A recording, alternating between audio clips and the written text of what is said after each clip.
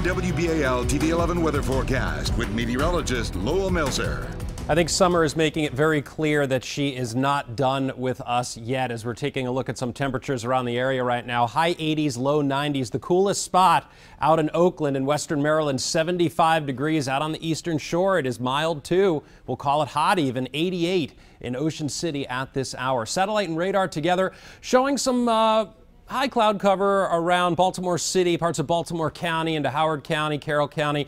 I think throughout the day we're going to see this, these uh, clouds roll in, and as we go into the afternoon hours, we could have some chances for some uh, thunderstorms or showers, uh, but quick ones as they roll through the area. Mainly while we're seeing this weather, we have the stationary front here that's locking in all that cloud cover and some of the moisture that's being pushed up from the south because of this high pressure here driving in that very warm, moist air uh, for a lot of us here, and that's why pretty much the entire eastern seaboard and the south, Georgia, uh, Alabama, uh, are experiencing some very, very hot temperatures for this time of year. This front way out here, though, is going to come through late Saturday into Sunday and will give us some relief a little bit. There's a better chance for more fall temperatures at the end of the week as another front moves through. We'll talk about that in the seven day futurecast shows those chances for uh, showers or thunderstorms moving through around 6:30, 7 o'clock, going into Saturday clouds, and then Sunday when that front moves through, that's when we'll start to see things really cool down. But I think uh, Saturday night into Sunday morning is when we'll have the best chance of getting a little bit of relief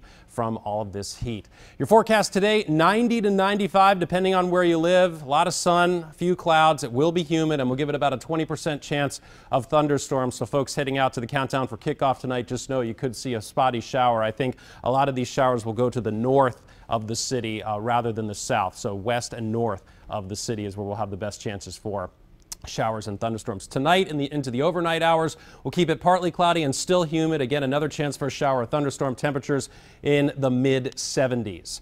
If you're heading out to Ocean City this weekend, looks delightful over the weekend. Just a slight chance for a shower or thunderstorm on Sunday. Otherwise, hot today, 90, and Saturday uh, in the mid 80s, and then Sunday the low 80s. So a great weekend. Still have a lot of good beach weekends yet uh, left. If you're heading out to the football game on Sunday, should be pretty good weather. It will be warm. It will be in the low 80s, but I think we'll cut that humi humidity out once that front moves through in the overnight hours. So it should be a nice day for football, but it will be warm, especially for folks sitting in the section of the stadium that gets a lot of sun, just know to wear your sunscreen. Those uh, UV rays are still pretty strong right now. Your seven day looks something like this. Again, we have some of that weather moving in Saturday night into Sunday. We get the front moves through, knocks the humidity and the temperatures down into the low 80s.